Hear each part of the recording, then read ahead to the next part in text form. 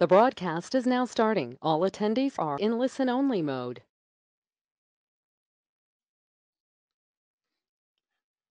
Hey everyone, welcome to our webinar on cybersecurity best practices for IT OT networks. My name is Scott Siphon with Moxa, and I'll be your moderator for the day. I'd also like to introduce our presenter, Rich Wood. Rich is currently the Product Marketing Division Manager here at Moxa and has over 20 years of experience in industrial automation. His work with plant engineers, system integrators, and equipment manufacturers, all in various markets, has allowed him to understand the, and address the growing list of cybersecurity concerns.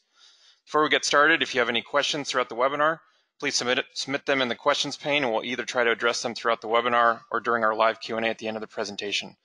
With that said, I think we're ready. Let me send it over to Rich.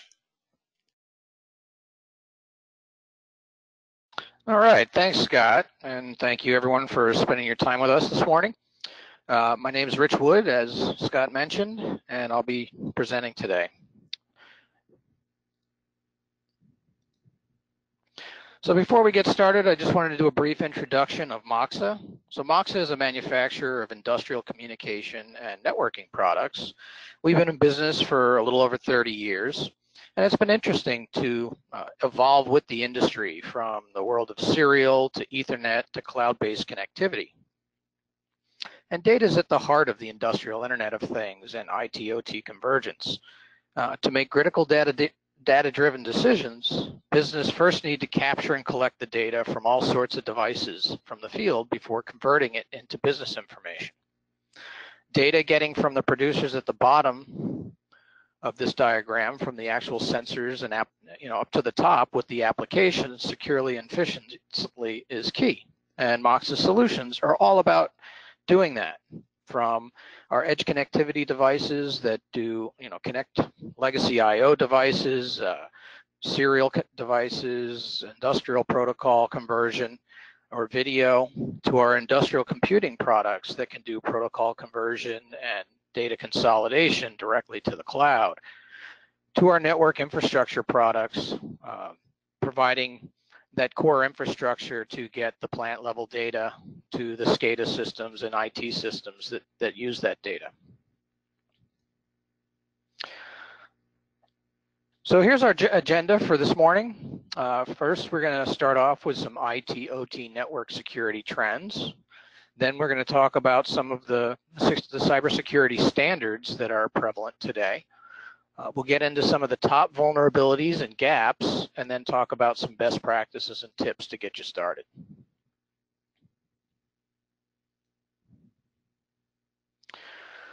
So, so why uh, cybersecurity has become such an issue? Um, so there's two major trends. One is the Internet of Things, which generally is referred to as connecting devices directly to the internet. Uh, so that and that the fact that you're exposing your end devices to the internet pres presents some security issues. And the second, which is the, the main focus of today's webinar, is IT-OT convergence. You know, as those IT systems connect with the control systems, that presents a potential security issue on both sides. And so, you know, how do we address that and uh, and meet the needs of both parties uh, while accomplishing the business goals.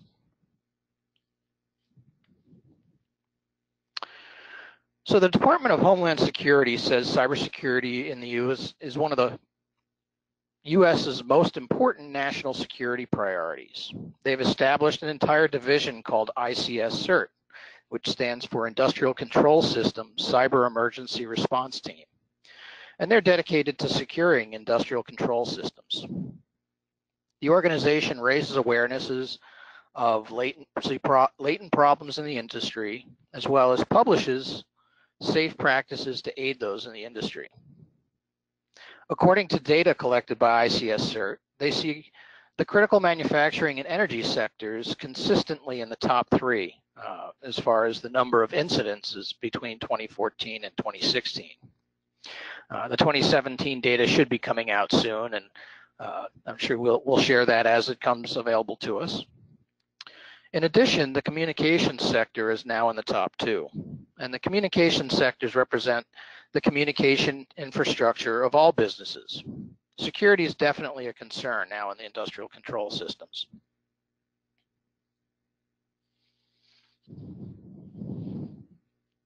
So looking at the types of threats reported in the 290 incidences that were reported in 2016, we see that phishing, weak authentication, and network scanning were some of the top threat vectors. But another thing to note was that was that 28% of the incidents that were reported, there was not enough information to determine the source of the threat. And that's kind of scary. As a result of this growing threat, companies are taking industrial cybersecurity much more seriously. And we're seeing more and more collaboration between the IT departments and OT engineers to reduce their overall risk of a breach. You know, here's two studies, one by Accenture showing 50% of companies surveyed are considering merging their IT and OT departments in the next 12 months. And that was from last year, so theoretically that could be happening right now. And a similar 2017 study done by the PMMI found that 58% of companies surveyed said their IT and OT departments were already collaborating on cybersecurity.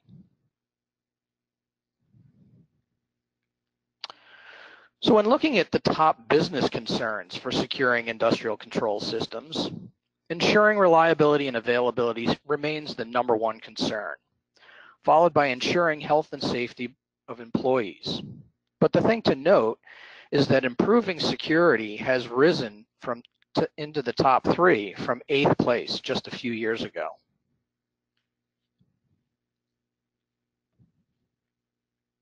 In looking at the top three threat vectors, devices and things that cannot protect themselves is a top concern. This would include devices that don't have proper security features, legacy devices that were never designed to be networked, or devices with known vulnerabilities that are not patchable. Another top threat vector is internal or accidental threats, such as an employee plugging a laptop into an open port on the ICS and infecting it. The threat vector that gets the most press, though, is the external hackers or even nation states that have made it into the news in these past few years.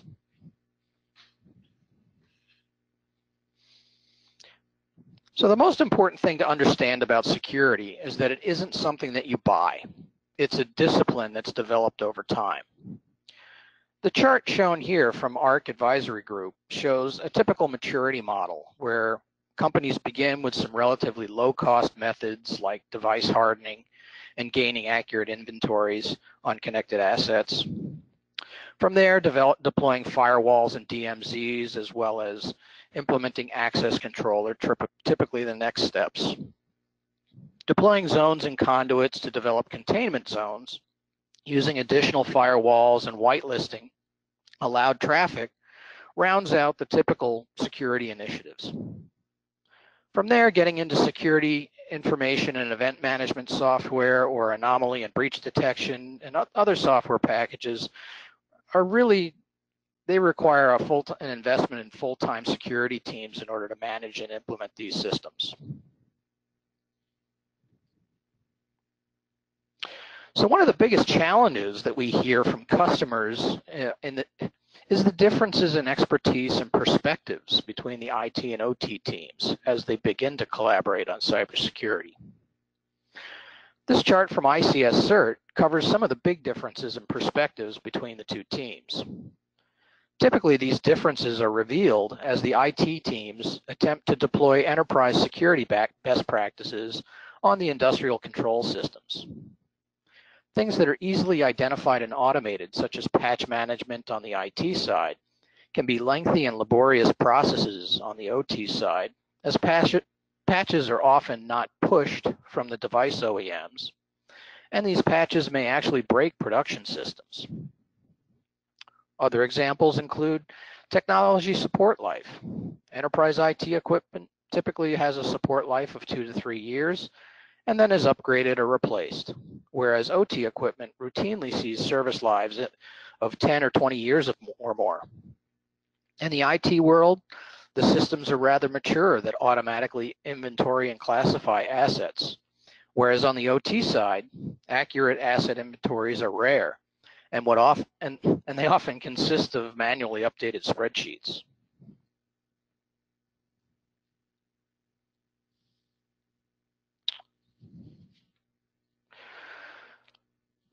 So let's talk about kind of the, the top three typical challenges that uh, that we see that uh, can be improved uh, on cybersecurity for industrial networks.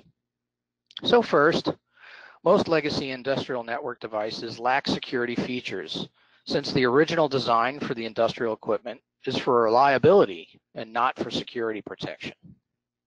Secondly, the network design in many legacy industrial network topologies did, never considered security protection. In many cases, uh, uh, you know, we'll see uh, go into a factory or a plant and see that the, the the control network is one big flat layer two network with no segmentation at all. And thirdly, even if you select and enable the security features on the devices and the network is protected and segmented by firewalls, it's still difficult to manage security. A field technician may forget to change the password or enable uh, unsecured connections without notice. So let's dive a little deeper on uh, that first vulnerability, the lack of device security features. When we look at this first challenge, we see that there are many potential security holes which must be considered when working with legacy network equipment. There are many areas of concern around unauthorized access, insecure configuration and password protections, weak password strength, and an inability to log security events. In fact, re referring back to one of the earlier slides where the you know 28% of the 2016 uh, incidents they didn't understand what the threat vector was. In many cases, that's because of that lack of uh, adequate logging of security events. And so without these basic security features, any of the end devices be, could be a weak point of the network. The second challenge is the lack of secure network design practices. It's common for legacy systems to connect to each other in one flat network without segmentation to limit access to resources. This results in a, in, in a network penetration in one area, allowing access throughout the whole network. Proper network segmentation can help to isolate a penetration to a single security zone. The third challenge is that even if the network has been secured at installation, problems can show up later down the road. On day one, the network may have been properly secured, but on day 100, during an expansion project or maintenance event, how can you be sure that it's still secure? Proper operational processes and procedures need to be in place to make sure that security happens over the long run. So the big question we get from a lot of our customers is where do I start? And that's where standards come in. Uh, so this is uh, just a, a, snapshot of a handful of the most common standards that we see customers uh, referencing as they put together their security policies. Uh, so uh, NIST, uh, NIST 800, NERC CIP for the power industry, ISA 99 or IEC 62443 for industrial control systems, CIS critical security controls, and ISO 27000 series are all some of the ones that we see referenced on a regular basis. And this chart here really just shows a couple of things, is that the, the scope and intent of these uh, different standards are a little different, but that there is a high degree of overlap. In fact, this chart here, which uh, I'm I'm pretty sure you can't read the detail on this. Uh, my intent was really just to show that if you were to cross-reference uh, some of the major standards, that there's a high degree of consistency between them. Um, as far as what their objectives are, there may be some differences in in how they recommend you implement those objectives or solutions to those objectives. But uh, the you know, really any of those standards that you choose is probably going to steer you down the road of best practices.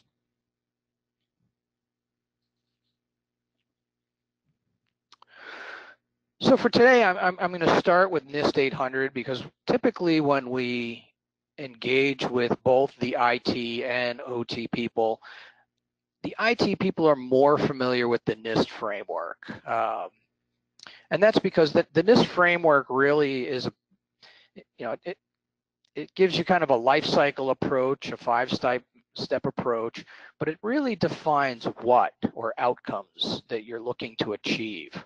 Um, and they're in these five areas, identify, protect, detect, respond, and recover.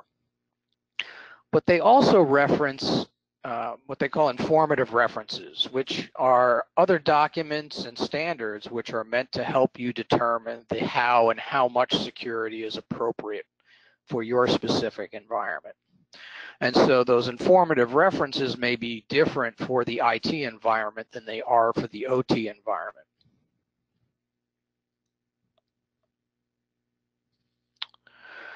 You know, so one of the, the, the first questions that most of these standards address is how much security do I need? And you know, that's a process of really assessing, uh, you know, what are the assets you're trying to protect? What is the likelihood that somebody is going to try and break in? And what is the the impact of a breach? Um, you know, and depending on what the what that risk level is, determining an appropriate level of security.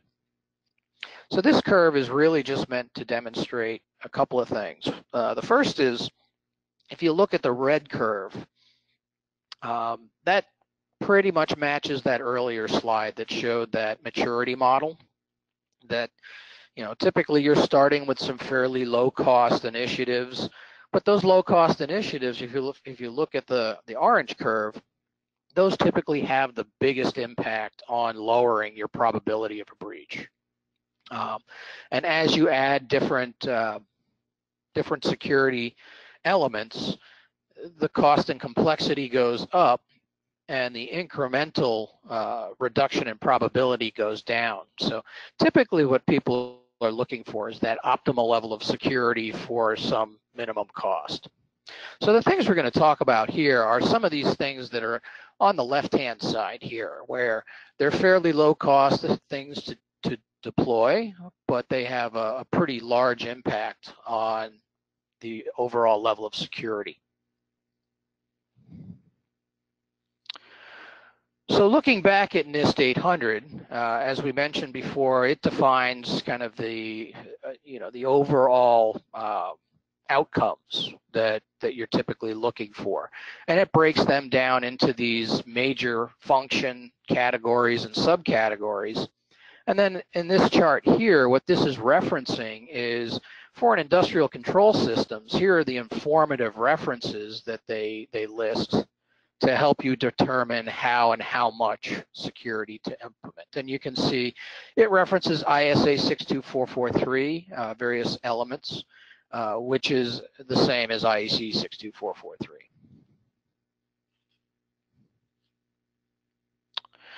So this is just meant to give you a little overview of the, the kind of the roles and scope of the 62443 standard. So you can see at the top, you've got uh, a series of standards that apply to the asset owner. And so that's really about determining, you know, how valuable is what I'm trying to protect, what is the probability of a breach, and what is that overall level of security that's appropriate for me. Then there's the, the second section down there where it kind of points to the system uh, applies to the system integrator. And so whoever's designing and deploying your network, here are the best practices for how to design the network or system uh, from a security standpoint. And then the, the bottom level there really is at the component level. And this is where this is really applicable to component suppliers like Moxa, where it's it, it goes as as deep as to say these are the actual features that your products should incorporate from a security standpoint to facilitate your customers designing and implementing networks that will conform to these standards.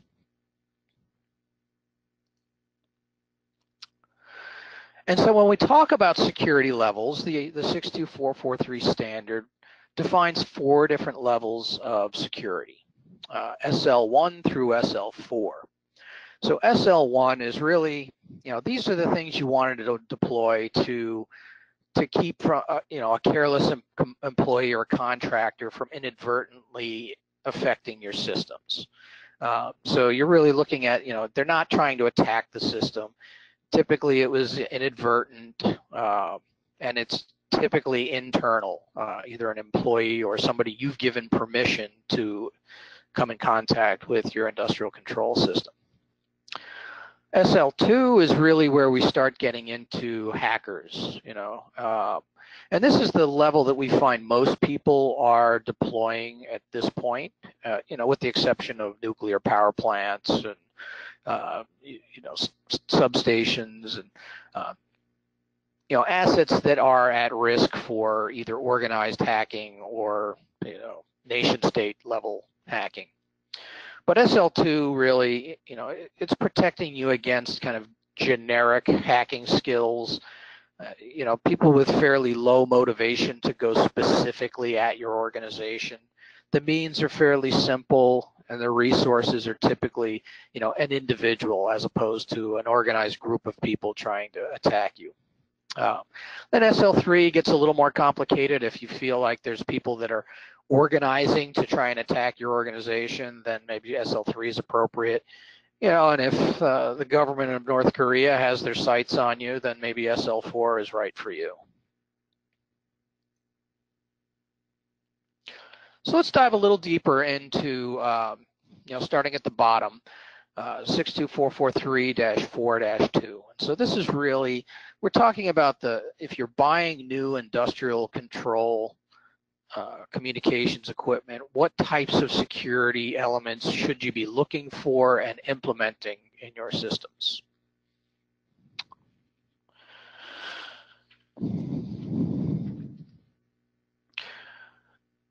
So there's seven, so these are seven different functional requirement areas and, excuse me, and the system requirements of uh, the 3.3 document the 4.2 document, it specifies how these specific requirement enhancements are called out in each of these areas based on the security level uh, compliance selected, you know, SL1 or S through SL4.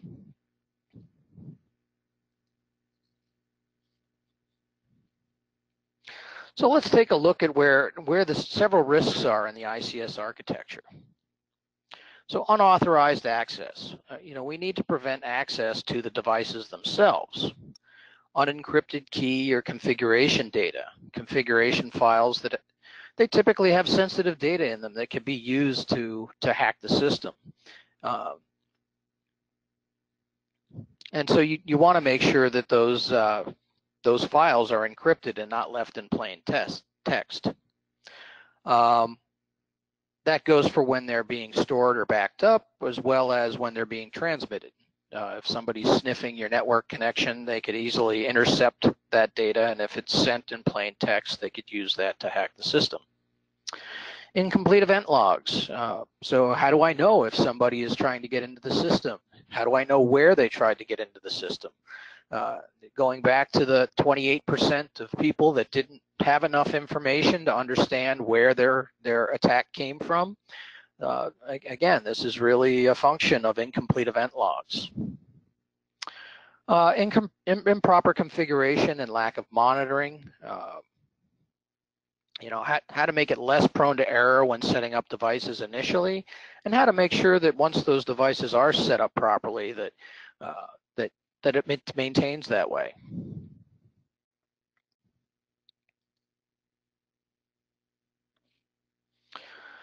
So jumping into a, you know a little deeper.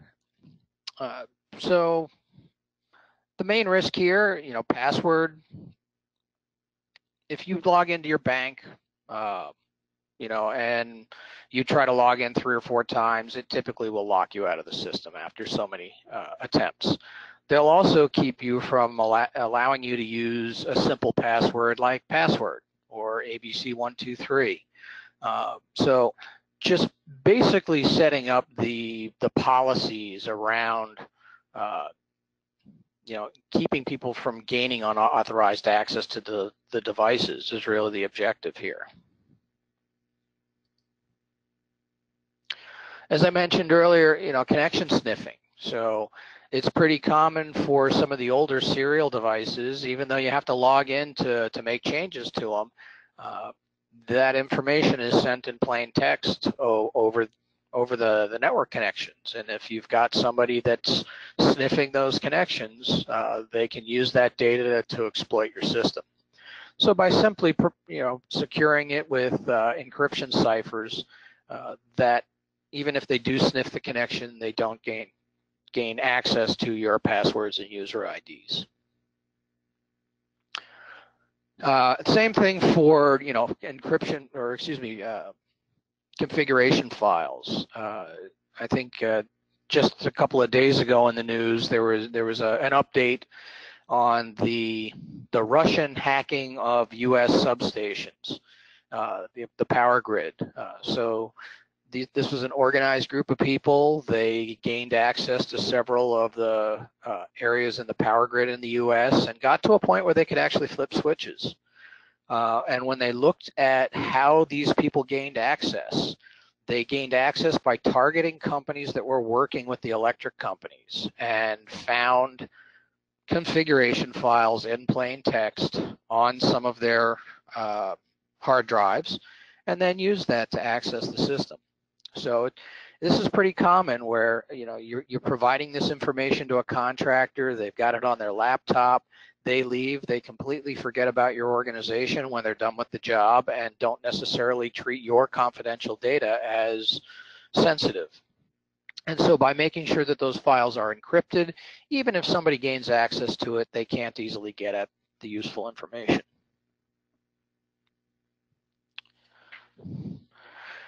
And so finally, auditing security events. Uh, you know, as I mentioned before, you know, if you don't, if you have a breach and you don't know where it came from, it makes it very hard for you to go back and and fix that hole in your system.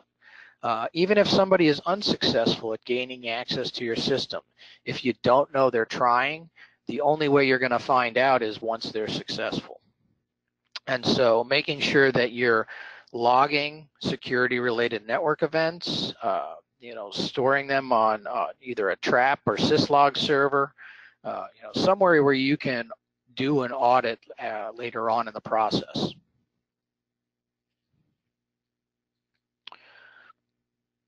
So jumping back to the standard, now that we've discussed some of the device level concerns, uh, let's look at the, the next part of this, the, the system level.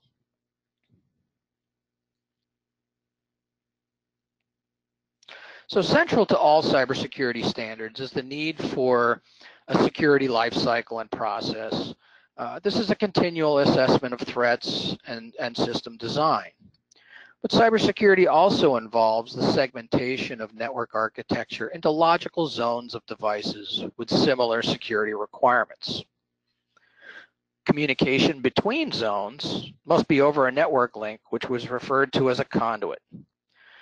The interfaces of the conduit are typically terminated by a firewall device, which defines the zone-to-zone -zone interaction. Only specific traffic is allowed to flow across these boundaries. Applications which use these conduits must be examined and their network requirements identified so that they can operate in the secure environment.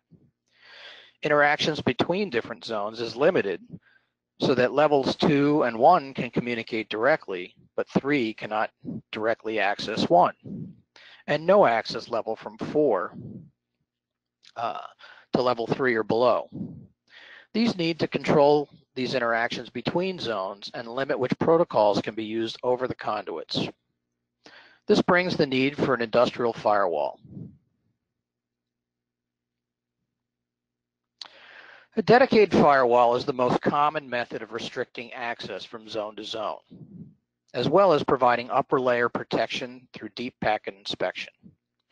You can see here that there are different types of firewall devices available from Moxa. These are the EDR series. The performance and features vary based on different models. There's also a need to provide secure remote access to industrial control systems. This drives the need for VPN capabilities to provide encryption to the communications which travel over public networks or even private cellular no networks. there are different technologies used depending on the application. You, know, you can also see that the number of VPN connections vary based on the device selected as well. So you may only need a lower performance device at a remote site, but need a much higher performing device at the headquarters site to support all the remote site connections.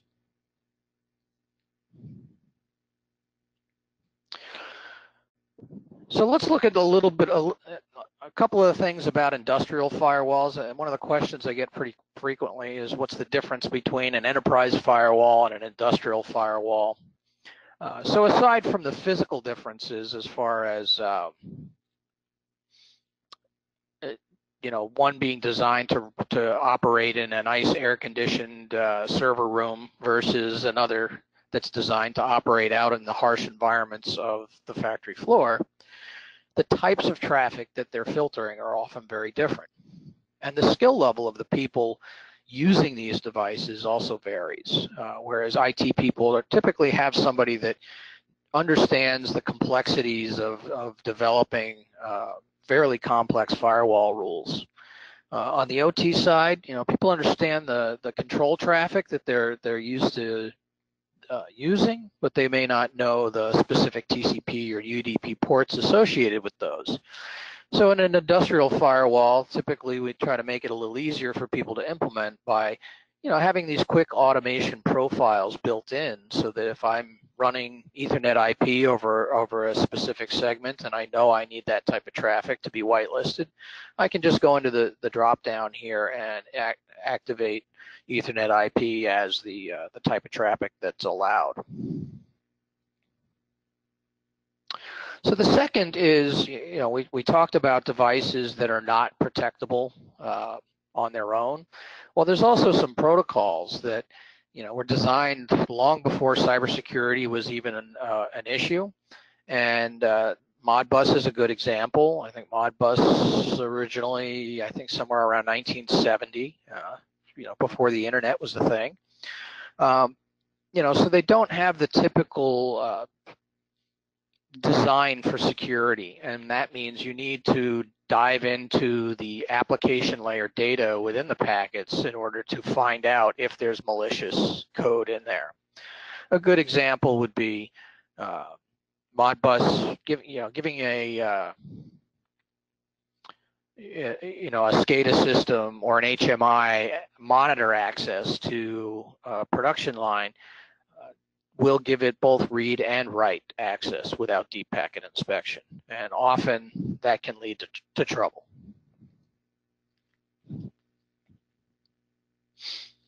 Another technology that, that we're seeing more and more being used at the edge uh, is access control lists. So simply simple filtering of criteria for ingress and egress traffic, such as, you know, on a particular port, you know, I want to allow traffic from certain IP addresses. Uh, I want to allow traffic to certain IP addresses or MAC addresses. I want to allow certain IP protocols, or I want to allow, uh, you know, certain Ethernet types. So uh, so we're seeing more and more of this, and uh, in many cases, uh, we've heard this referred to as kind of the, the poor man's firewall. So that brings us to a, a, little, a little, case study. Uh, so this was a uh, steel mill in Germany, um, and they actually had a fire on one of their production lines because they had an HMI that was set up uh, through through Modbus to monitor several production lines. And uh, the operator inadvertently turned off one of the cooling fans on one of the production lines, and that caused the steel mill to catch fire. Uh, so after the fact, you know, they were looking for a way to keep this from happening again, and by simply deploying some industrial firewalls and using deep packet inspection to only allow read access to those uh, that those production lines, uh, they they eliminate the the possibility of that happening again.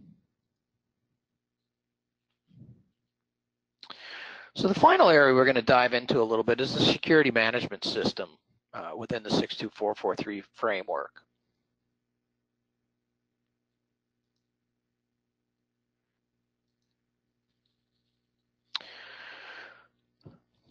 So one of the tools that we see as as kind of uh, foundational on the industrial control side is a good industrial network management uh, package. This checks a lot of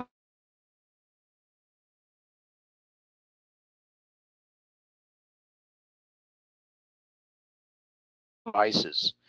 Um, you know, in, in this case, uh, you know, as we mentioned earlier, a lot of people, you know, they'll get a spreadsheet from their integrator or uh, the machine OEM that gives them the devices on the network.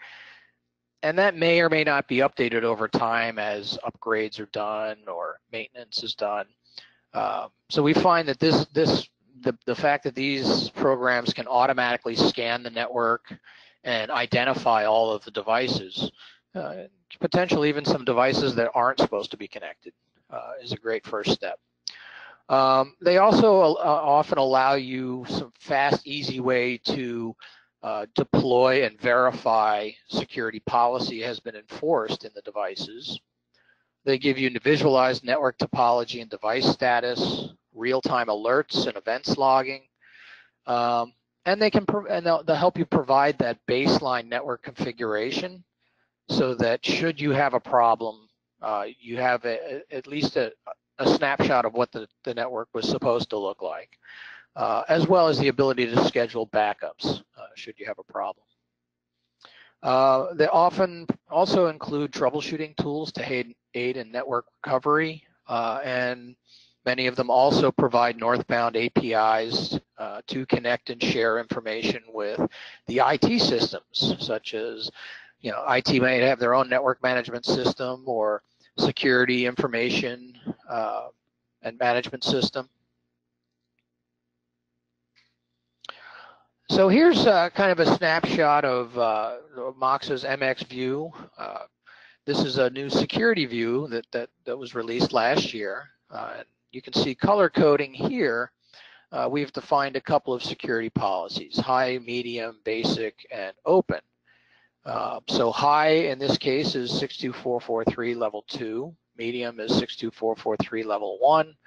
Basic would be, uh, you know, what uh, I believe it's what Cisco defines as kind of basic level security uh, on network devices. And open means either we don't know or the device has not been configured.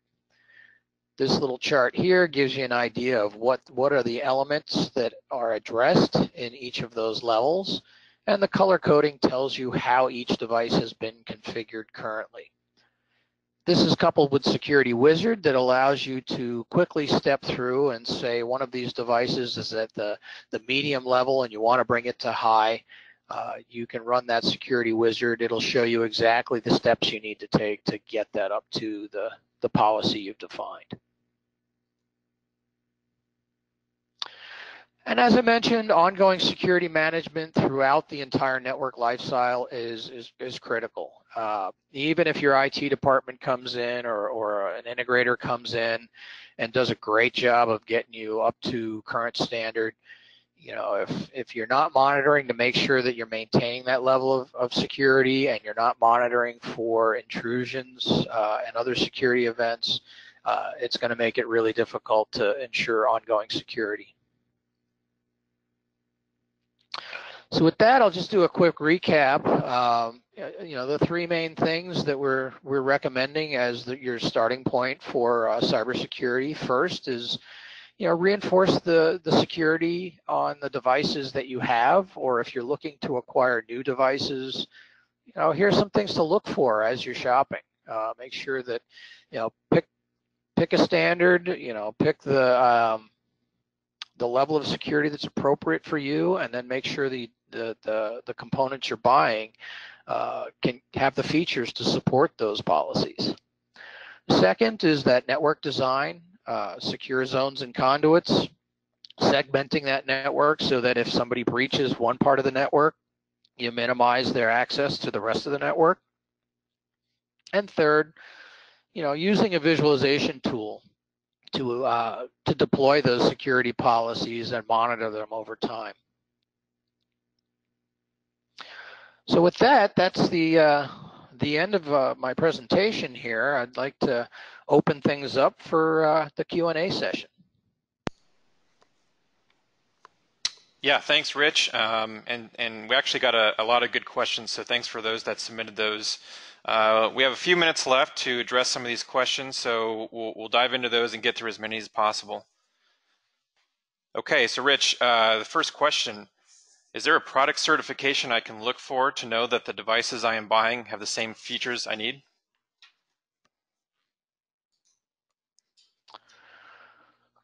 Yeah, uh, great question. Um, so there there are a few certifications that are starting to show up, like ISA Secure, um, that will certify products to the IEC 62443 standards. Uh, another one is cybersecurity assurance from UL. But right now, adoption is really low. And the last time I checked, there were really uh, no industrial switch or router companies with certified products. Uh, Moxa is investigating third-party certification, but we have not decided on a lab or a certification at this point, and I and I think that's probably true for most of the the major manufacturers. Great, thank you, Rich. Um, so next question, you mentioned IEC 62443 compliant products. What about NERC CIP compliance? Okay, so we must have somebody from the power substation market. Um, so yeah, NERC, CIP is actually uh, law here in uh, the United States for, uh, that's from the North American uh, Electric Regulatory Commission, I believe is the name. So for products, uh, for, for products, we have uh, a series of products specific to power substation or related to power substation applications. And for those, we do supply NERC compliance tables. And I think that's pretty standard in the industry. Uh, if you're selling products to support networks within substations that uh, you know, we, we understand that that's you're obligated to to conform to those standards, and we do what we can to to help you comply. Great. Okay. So next question: What about intrusion detection and prevention systems? Are they worth looking at?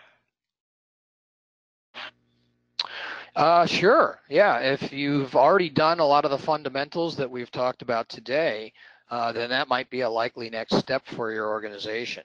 Uh, but as I mentioned in the earlier slides, uh, you know, cybersecurity is an ongoing process of building capabilities. So if you haven't done uh, the blocking and tackling, the basic things that we've talked about today, then um, you know you might be premature for you. Uh, but Moxa is in the process of evaluating developing partnerships with uh, intrusion detection systems and intrusion protection system vendors. Okay, thank you. So next question we have uh, is how can I find out if the devices I'm using have any vulnerabilities? That's a great question. Um, so I think the best place is to check with the manufacturers. They would have the most updated information about their products. But I think a great source for ongoing monitoring is the ICS CERT website they list known vulnerabilities and they work directly with manufacturers like Moxa to communicate patches to these vulnerabilities. And you can actually sign up for alerts on their website. If you know what manufacturers' products you're using, you can sign up for alerts related to those manufacturers. And anytime a vulnerability is found, they'll send you an email, and, and you can look into what the uh, what the patch available is. Okay, looking at the time, looks like we have time for one more question. So the last question we'll address, um, you showed a snapshot of a table that referenced IEC 62443 standards mapped to the NIST 800 framework. Can you share that or tell me where to get it? Uh, yeah, sure. Um, so I got it from uh, NIST. Uh, I believe I got it from their website. Might have been buried a little bit. I, I knew exactly what I was looking for, but um, if you can't find it there, feel free to reach out to me directly and I'll send you what I have. Uh, so my email address is richard.wood at moxa.com and uh, I'd be happy to share what I have with you. Okay, thank you, Rich. Thanks for your time today. Unfortunately, that's actually all the time we have for questions, so we're going to have to wrap things up. If we missed your question or if you want guidance on a specific issue or situation, please feel free to reach out to us directly at usa at moxa.com. One last note, you'll see a survey pop up after this broadcast. If you could please take just a few more minutes to complete the survey as we're always looking for ways to improve future webinars. Thanks again to everyone for joining us. Until next time, enjoy the rest of your day.